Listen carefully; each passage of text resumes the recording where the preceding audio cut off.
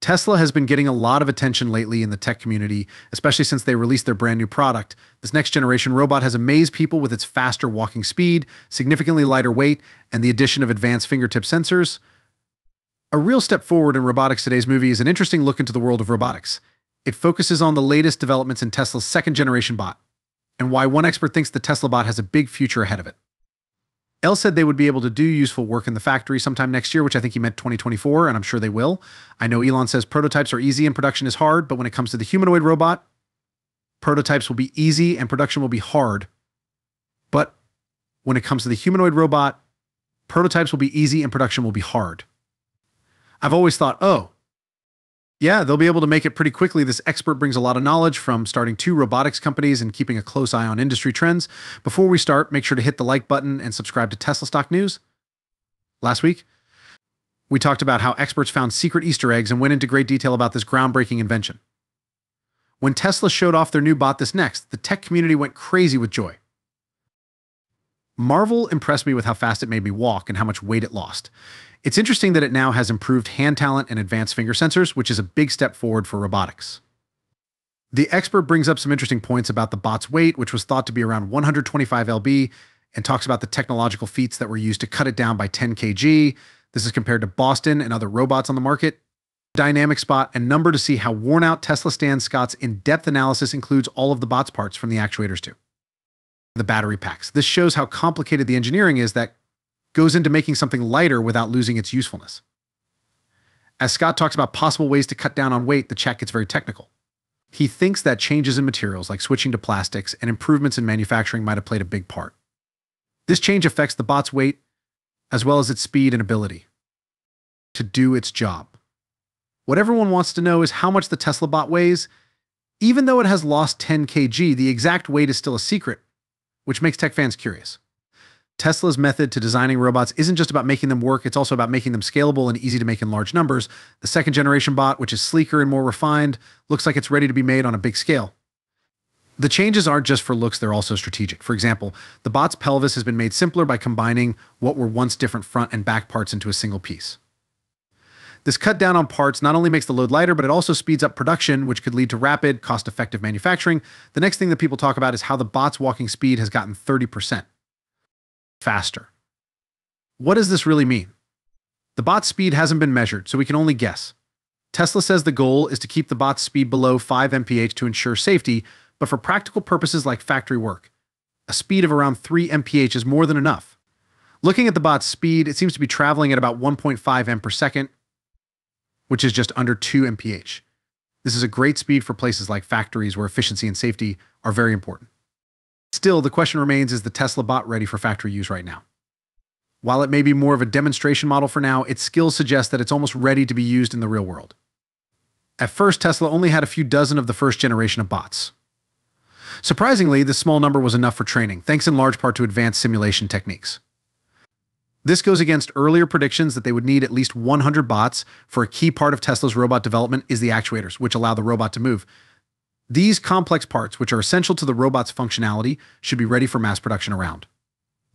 November, Tesla also has plenty of other parts, like batteries and FSD chips. The actuators are the most important part of increasing output. In the coming months, we expect production numbers to slowly rise. At first, a few dozen bots might be sent to different places for testing and training. As the production process continues, we expect a big increase in numbers by the end of next year. Depending on how well the design works, hundreds of these robots could be made.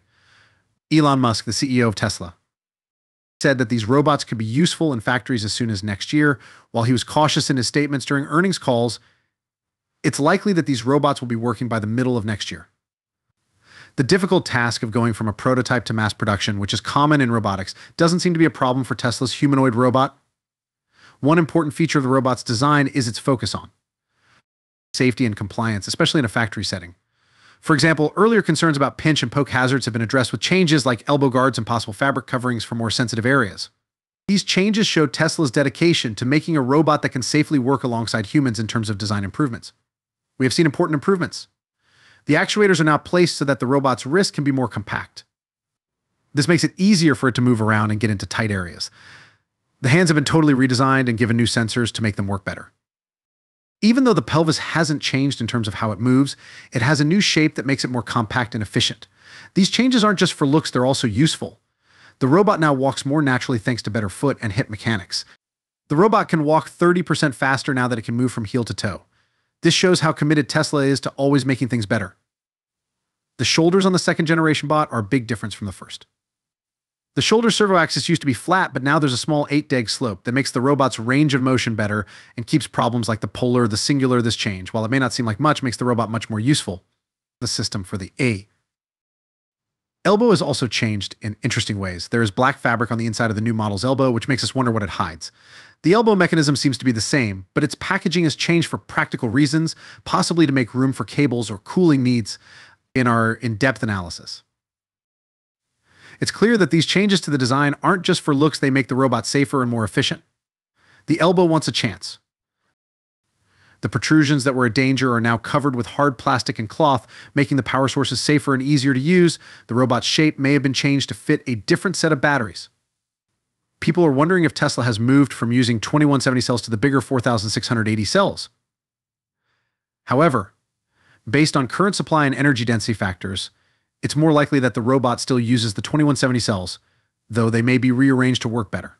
Aside from fans, other parts that have been talked about are cooling systems and how they work. Some people think that liquid cooling methods could be used to keep the robot's electronics at the right temperature. The robot's connection system has changed the attachment points have moved from the head to the shoulder. This is another interesting thing to notice. This change was carefully made to make sure the robot will last and work properly by spreading the weight out more evenly and avoiding stress on the neck motors. A new video shows three Optimus models being put together in different states. Claudia Missouri from John's channel was the first to notice this. This is strange revelation shows how. Quickly, Tesla's robot research is moving forward. A big topic of interest has been the emergency off button, which used to be behind the robot's neck, but can't be seen in new footage, leading to rumors about its new location. Upon closer inspection, what looks like a red button can be seen at the lower back of the robot, which seems like an odd place for such an important feature. Next, we'll talk about the robot's energy efficiency and longevity. There has been doubt about whether the bots could work for an entire 8-hour shift on a single charge. To counter this, it's important to remember that Tesla's 2170 batteries, which are widely found in laptops, are very efficient. A laptop can run for hours on a single charge, even when it's doing a lot of things and showing pictures. Tesla's full self-driving system is even better optimized, which means that the Optimus bot might be able to work efficiently for longer amounts of time. Even though the Optimus battery pack is only about one-third the size of a Model Y, it has enough power to drive a Model Y for 10 miles at fast speeds, which shows how power efficient the bot is. As an example, look at the actuator that lifted a half-ton grand piano during the demonstration. Lifting such a heavy object requires surprisingly less power than one might think, which suggests that the robot's battery could handle such activities for a long time. Additionally, the ability to charge the robot continuously while it works opens up new ways to improve its operational efficiency. Tesla's chief designer hinted at wireless induction charging in an interview with Jay Leno, which could let the bot charge without having to physically plug in. This technology, along with improvements in inductive and capacitive charging from companies in Quebec, means that Optimus could possibly work around the clock without needing to be charged by a person, while other humanoid robot companies. Target run times range from 1.5 to 5 hours, but Tesla seems to be shooting for an amazing 8-hour endurance. This is because the Optimus has a bigger battery pack, more efficient motors, and a better battery management system. Many other robots, on the other hand, have smaller batteries, usually less than a kilowatt hour, which limits how long they can work there have been big changes to Tesla's Optimus. The robot now has better sensors in its feet and a more flexible toe box, which makes it more mobile and improves its balance. Adding sensors to the robot's fingertip was not initially thought to be necessary, but Tesla has decided to do so, indicating a high level of tactile sensitivity possibly sufficient to read Braille. Other improvements include the robot's overall speed and responsiveness, especially in its hands, which were previously slower to move, the latest version of Optimus has much faster hand movements, which is important for operational efficiency in a factory setting. This increase in speed could be due to both mechanical improvements and faster AI decision-making processes. As for production scalability, there's a lot of excitement about Tesla's ability to mass produce these robots, with the actuators now appearing to be finalized. The robotics community is very excited, especially after the recent demonstration of the sleeker, more refined version of Optimus, uh, this robot not only shows Tesla's innovative approach to design and functionality, but it also sets a new standard for what humanoid robots can do. as anticipation builds for AI Day 3, which is expected to happen in the first quarter of 2024. The robotics community eagerly awaits new demonstrations. The next one is likely to show how the bot can be used in a factory, going beyond the impressive features already shown, like speed and dexterity, to show how it can be used in the real world. After a lot of hard work, Tesla's Optimus bot now has better walking skills and more advanced sensors in its fingertips. These traits suggest that there is a bigger focus on real world applications, especially in business settings. The next demonstration should solidify the bot's place in operational settings, going beyond simple tasks to more complex real world uses. Looking ahead, there's talk about how big the bot will be when it's ready for mass production. Many people are cautiously optimistic because Tesla's technology is improving quickly, which suggests that the company may be taking a more aggressive approach to production. There is a lot of talk about the chance that Tesla will increase production to meet the needs of its factories.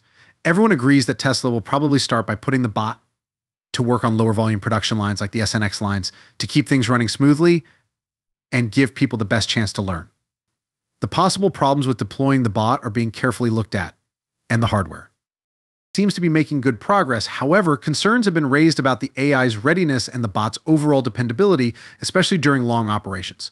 The current focus is on improving the AI and making sure the bot can handle long tasks without many problems. That's all we have to say about the Tesla bot for now. Let us know what you think in the comments below, and don't forget to like and subscribe to Tesla Stock News.